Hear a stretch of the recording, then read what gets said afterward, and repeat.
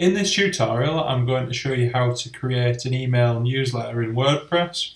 So the first thing you want to do is head to this page, there's a link to it in the description, and then you want to create an account.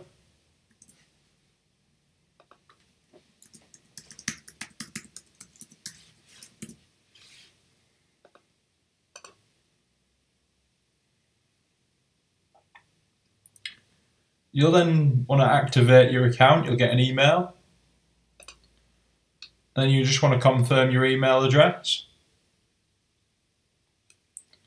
And that's it confirmed. You then want to click on Add Plan. And we're going to choose the free plan, but you can choose one of the other plans if you want. Click on Start for Free. And then enter these questions and then click on Submit. Once you've answer those questions, you'll land on this page where we're going to activate the plan. So if you just click on this to copy, the next thing you need to do is make sure you're in the admin side of your WordPress website and then go and hover over plugins on the left hand side and then click add new. And we're going to add in MailPoet, which will be able to add a sign up form and send newsletters out to our blog readers. So if we click on install now, so that's MailPoet, and then we choose activate. And we're going to click on begin setup. You can enter the from name that you want the emails to send from. So I'm just going to say builder blogs and then the from address, so builderblogs at gmail.com. So whatever your email address will be, click on continue. And then choose what options you want on here and click on continue. And then all you do is click on connect MailPoet.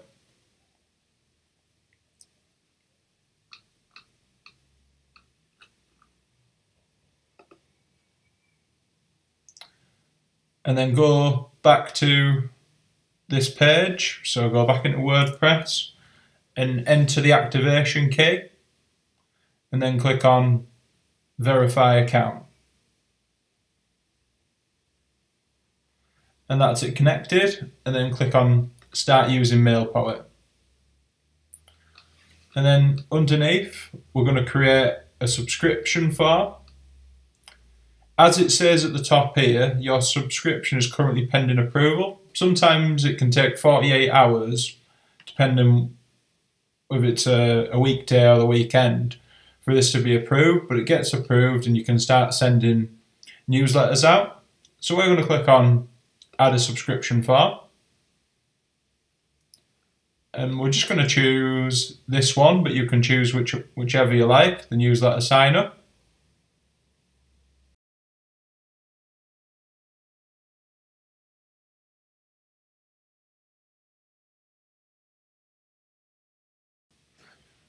We're going to click on this here, click on the dots and click on remove image. I'm going to remove this as well. I'll just close this down. Remove the heading. And then I'm just going to take this part off and say sign up to receive awesome content in your inbox. You can click on the cog if you want to edit stuff like for example this where you can change that round. I'm just going to leave as it is. You can also go onto styles and you can change things around in there. I'm just going to leave as is as I You can also go onto the form and you can give it a name. It's important to choose a list here. So this form adds the subscri uh, subscribers to these lists. So you can create lists in MailPoet as well on the left hand side there and you can put people into different lists. After the submit, it'll give this message which you can edit. Underneath, you've got styles where, say, you can change colours. This is an important one, form placement. So I'm actually just going to put it below the pages and click enable. I'm going to display it on all pages and all post products, and then you can do other things there if you want. I'm not going to now. I'm going to turn it off on the pop-up. So take off enable. Click on the cog again. And it's currently just on below pages. So that's the form placement part done. And up at the top, if you click preview, you can actually see what it looks like. That's just appearing for now, so don't, don't mind that. And that's what it would look like. If we go on the side here and click below pages, it'll show you what it looks like. So if we go down, there it is. I'm just going to X out of that and then I'm going to click save. We'll actually edit this underneath. We'll just take, we'll take this off. We'll just say we don't spam. We'll just keep it simple. We'll click save again. And then we'll just go back into MailPoet. We'll go down and we'll we'll create a newsletter by clicking on send your first newsletter. And we're actually just going to choose latest post notifications, but you can create any of these that you like. I'm just showing you how it all works.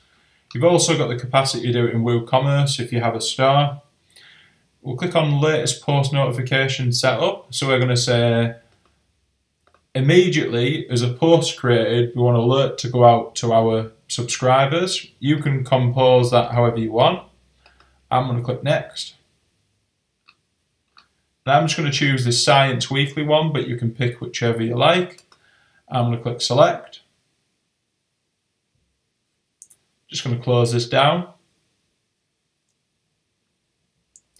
And then what I'm going to do is I'm just going to tweak this to show you how you can customize it to make it a bit more your own. So I'm actually going to delete this section as so. I'm going to go in here and I'm just going to give it a heading. I'm to say build a blogs newsletter.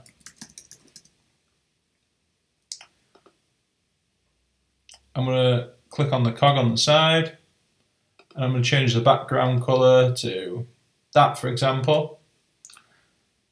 I'm going to scroll down and I'm going to remove this. I'm going to remove this section just to keep it simple. You can add things in as you go. And then down at the bottom, I'm just going to take this line off, but you can add a postal address if you want or some some other information. And then on stuff like the socials, you can click on the cog and you can enter the links and you can add other socials in as you want there. But I'm just going to keep it simple for the tutorial. And then that's the content done. So just click on content and you can change things around with columns and styles, but generally that's that's this part done. You can change that, for example, if you want. If you want to rename it, I'm just going to leave it as it is. I'm going to click next. And you can tweak things like the frequency from the sender. You can put a reply to if you want. I'm just going to choose the list here. And then I'm going to save and close. And once approval sent through, you'll get an email from MailPoet and you can activate this here. I'm just going to say save, draft and close. But we can we can preview this by clicking on preview.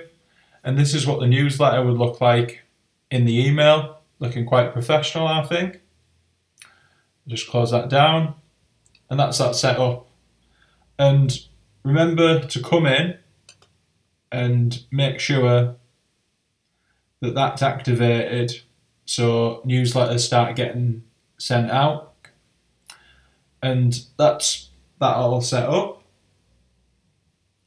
and you'll be able to start sending notifications out when you publish a blog post so you can start engaging with your followers more.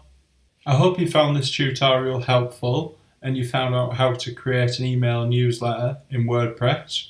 If you want to create a blog website like this one, you can see the link to it on screen.